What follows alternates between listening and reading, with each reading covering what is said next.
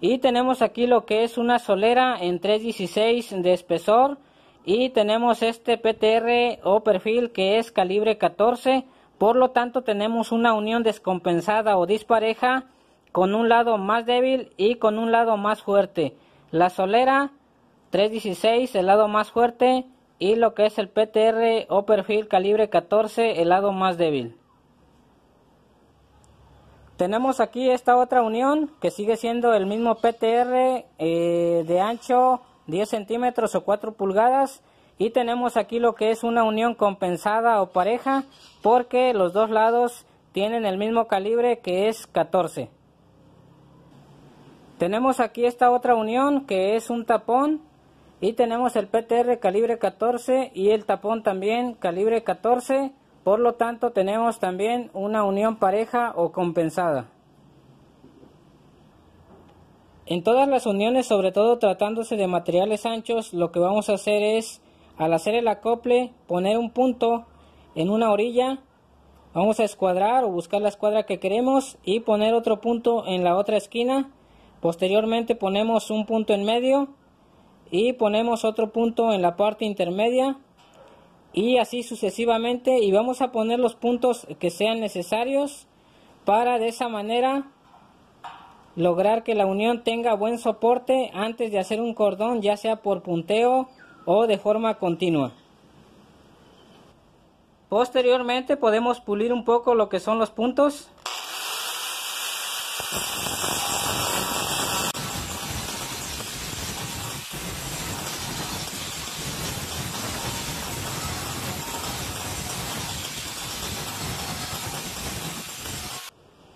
y eso es lo que haremos con todas las uniones sobre todo tratándose de materiales anchos y estará listo para hacer el cordón por punteo o de forma continua.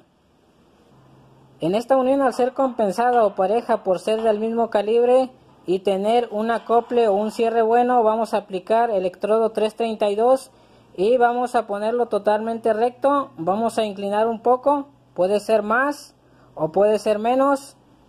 eso va a depender mucho del gusto de cada quien. Por ser un material delgado no hay problema, pero no exagerar demasiado, porque entonces sí habría un problema. Y lo que vamos a hacer es ir recorriéndolo. En este caso lo podemos hacer hacia atrás o lo podemos hacer hacia adelante. Y podemos ir haciendo ya sea medias lunas muy cortitas o también zigzag muy cortito o mantenerlo totalmente recto y llevarlo solamente así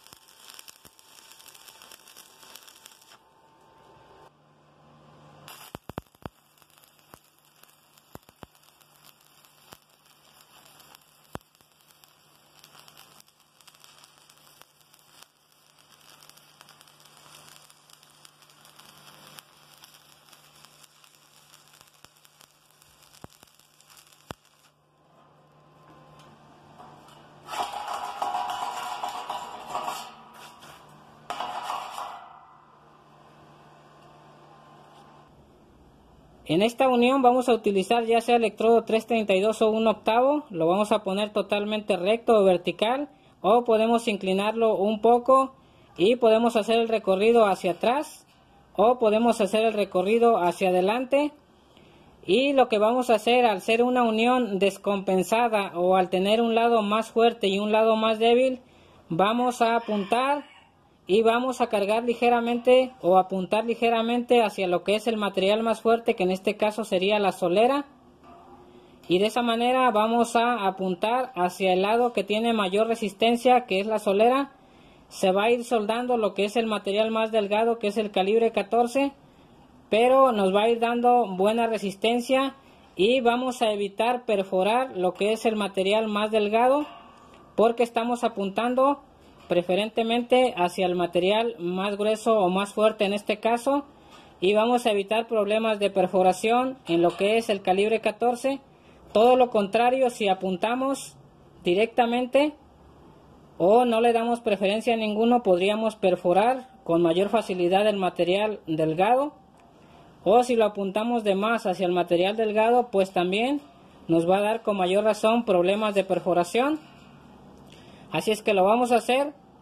dándole preferencia hacia el material más grueso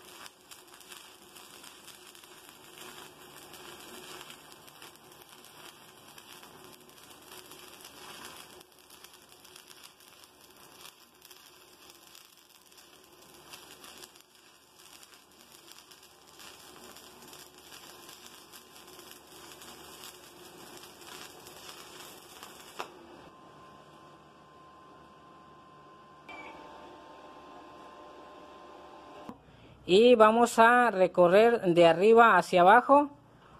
manteniendo o poniendo el electrodo totalmente recto hacia la unión o con muy poquita inclinación y de esa forma hacerlo hacia abajo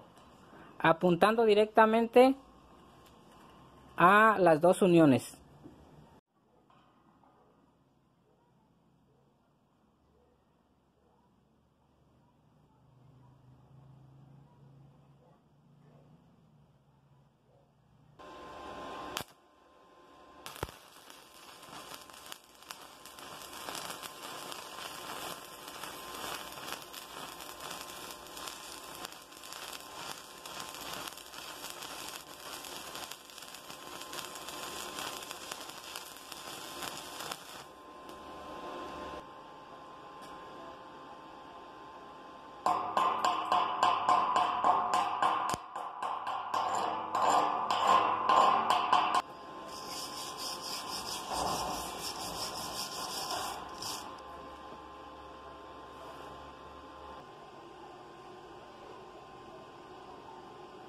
todo y recuerda, suscríbete, comparte, comenta, activa esa poderosa, poderosa campanita de notificaciones y nosotros nos vemos en el próximo video y no se te olvide apoyarnos con el poderosísimo like.